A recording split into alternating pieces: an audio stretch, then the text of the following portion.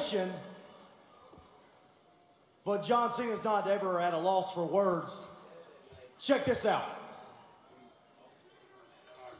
Check This this out. Sunday at Fastlane, a record that has stood for nearly 20 years in the WWE will be broken. I knew some of you wouldn't be happy about that. It's tough to talk about that even for myself.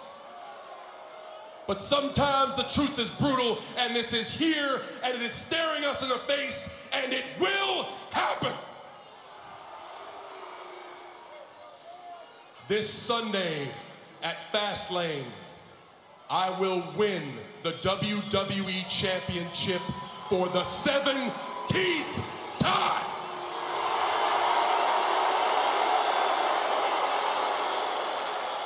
All records are made to be broken. Even the ones that we hold so very close. I will do this because this is my only road to WrestleMania. Mm-hmm. You see, John's not the only one that has a win at Fastlane to pave his road to WrestleMania.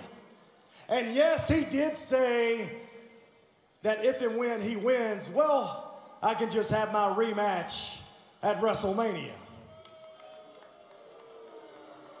Well, John, that's not what I want. And correct me if I'm wrong, WWE Universe, that's not what you want either.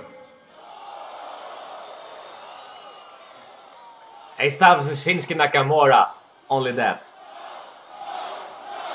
No, no, no, no, no, no, no. I want my WrestleMania moment. And that's taking the most prestigious championship in the history of our business and taking it to the grandest stage of them all, the main event of WrestleMania, and defending it against the best. And he has every right to call himself the best. I want you, Shinsuke Nakamura. Yes.